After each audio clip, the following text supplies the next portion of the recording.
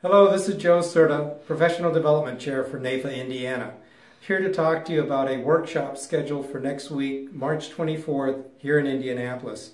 Uh, we have five hours of CE, but included in the five hours is uh, one, uh, a representative from the Department of Labor, here to discuss the fiduciary uh, standards for ERISA, and secondly, Charles Boyd with the Social Security Administration discussing the uh, uh, new Social Security rulings affecting retirement planning strategies. So if you wish to attend, please scroll below for additional information. Thank you.